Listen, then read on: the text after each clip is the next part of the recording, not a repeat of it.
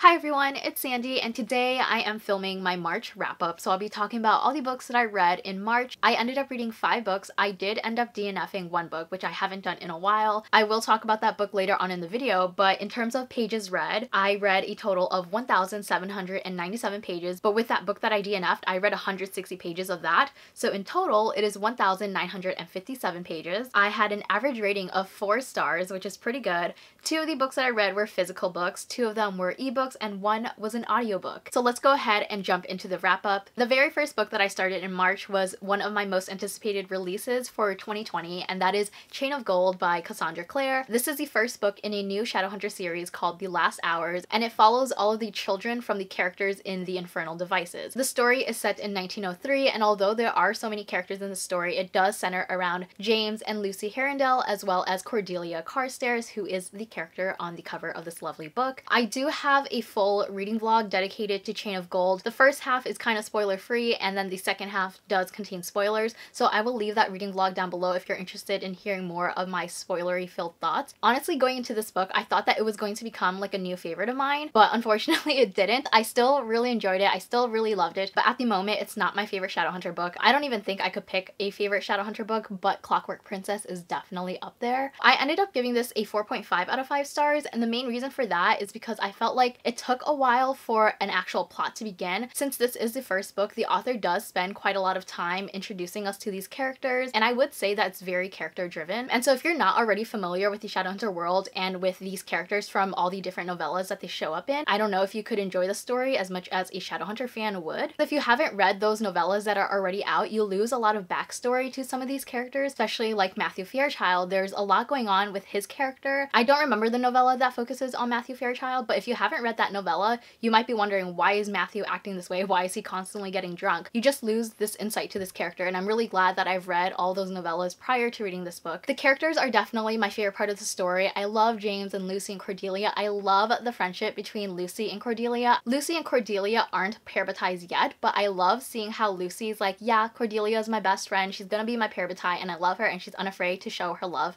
for her future parabatai. And obviously I love seeing characters from the Infernal Devices and I love seeing how the kids would talk about how they're witnessing their parents' love for each other. I think that's so sweet and it's so cute. So overall, I gave this a 4.5 out of 5 stars and I cannot wait to read the sequel. The next book that I wanted to talk about is the book that I DNF'd and that is The Seven and a Half Husbands.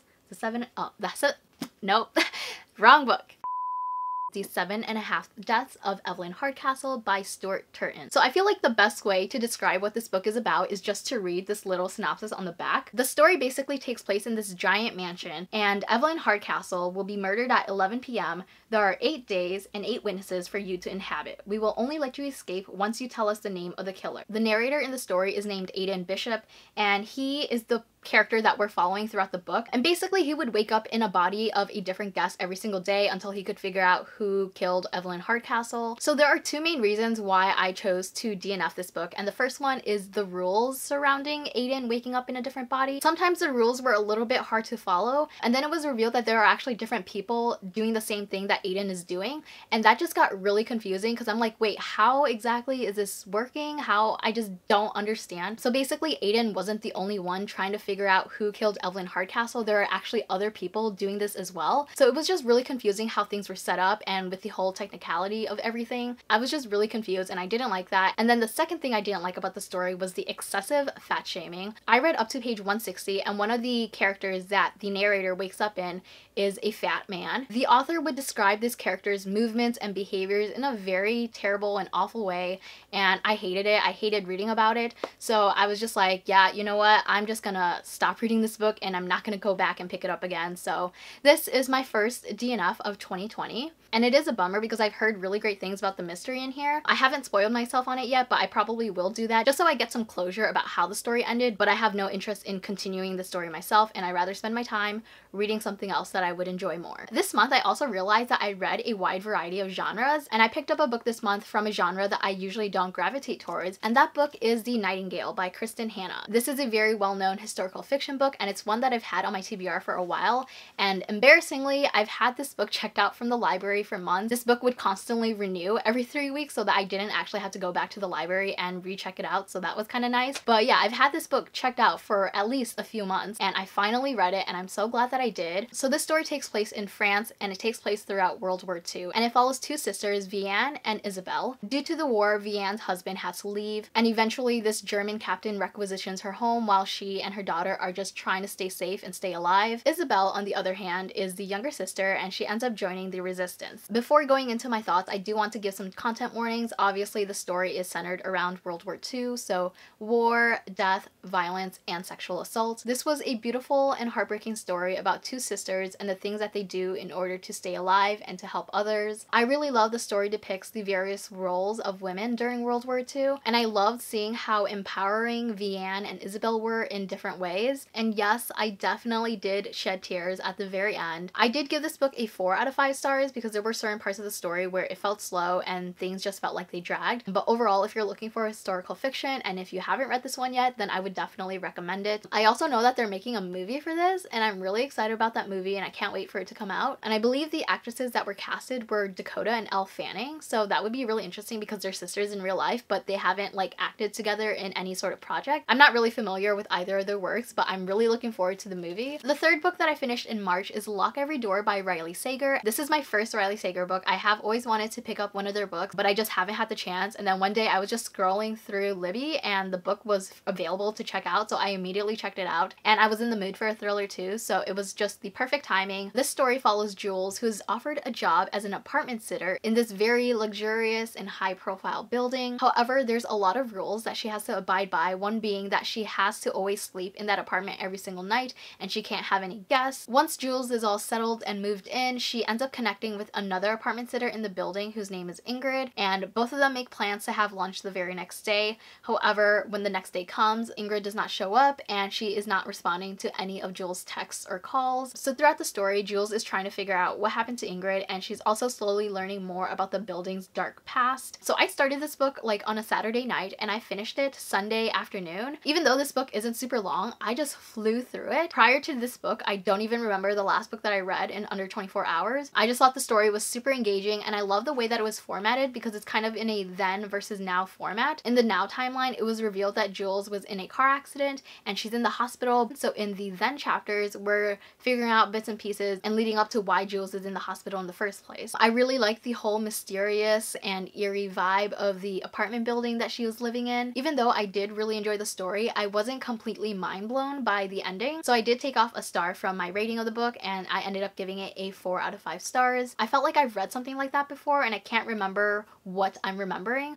but it's not something that's like completely new or unique. So that's why I took off a star rating. But overall, it was still a really enjoyable thriller. The fourth book that I finished in March is actually an audiobook, and I also have not listened to an audiobook since like November. Since I started my current job, I haven't really been listening to audiobooks anymore because I don't drive to my job. I take public transportation, and that's when I get most of my physical reading done. So I just have not listened to an audiobook in several months, but I'm slowly trying to get back into that. And Little and Lion by Brandy Colbert is the audiobook that I listened to in March. This is a YA contemporary and it follows our main character Suzette, who returns home from boarding school, and she has a stepbrother named Lyle who has been diagnosed with bipolar disorder. And one day, Lionel confides in her that he is off his medication, and Suzette kind of struggles what to do with this information. She obviously wants to support Lionel, but she also wants the best for him, but she does end up keeping his secret. As for content warning, there is mention of abortion and teenage pregnancy, as well as racism, homophobia, and discussions on suicidal thoughts. I really enjoyed the diversity of the story. The main character Suzette is black,